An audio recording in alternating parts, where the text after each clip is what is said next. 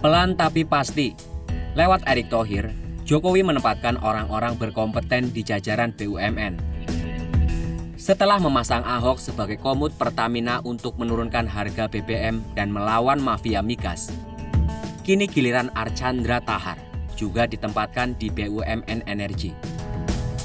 Rupanya Jokowi tidak main-main dalam menghadapi tekanan mafia migas, atau kalau di PGN sendiri dikenal dengan sebutan rentegas.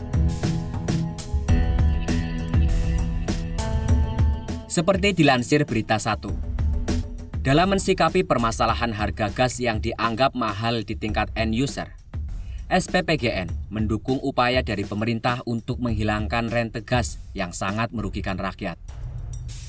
SPPGN mendesak agar rente gas yang tidak memiliki nilai tambah untuk dibasmi dengan membuat dan mengimplementasikan tata kelola gas yang baik dan adil. SPPGN juga berpendapat bahwa pemerintah harus berhati-hati dalam membuat holding BUMN di sektor energi. Karena bisa jadi para mafia gas selaku pemburu rente akan mendompleng dan memanfaatkan situasi yang ada, termasuk dalam proses pembentukan holding saat ini.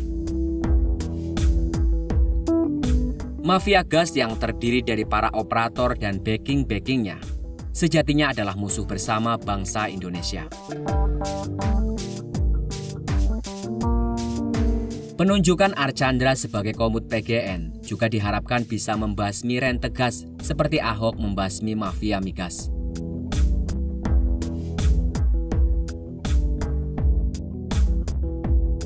Dilansir dari Detik, ex-wakil Menteri Energi dan Sumber Daya Mineral Archandra Tahar resmi jadi komisaris utama PT Perusahaan Gas Negara. Archandra resmi menggantikan IGN Wiratmaja. Pengangkatan Archandra sebagai komut ini ditetapkan berdasarkan hasil rapat umum pemegang saham luar biasa PGN yang digelar di Gedung Graha PGAS, Jakarta Barat. Kami kenalkan komisaris utama yang baru Pak Archandra yang bergabung per RUPS luar biasa hari ini. Alhamdulillah Pak Archandra bisa bergabung dengan kita ke depannya, kata Direktur Utama PGN Gigi Prakoso. Dalam kesempatan yang sama, Archandra menyampaikan rasa terima kasihnya kepada Presiden dan seluruh pemegang saham yang telah memilihnya hari ini. Saya menyampaikan terima kasih kepada Pak Presiden dan seluruh pemegang saham yang telah memilih saya sebagai komisaris utama PGN mulai hari ini, kata Pak Archandra.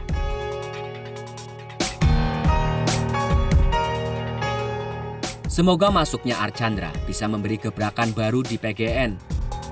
Sudah saatnya Indonesia bisa menjadi negara yang mandiri di sektor energi, mengingat sumber daya alamnya yang berlimpah.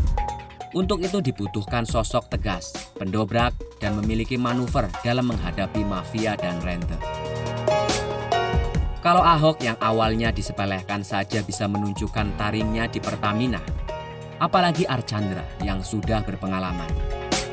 Apalagi dengan dukungan dari Menteri BUMN Erick Thohir yang mengedepankan profesionalitas dan tata kelola perusahaan yang baik.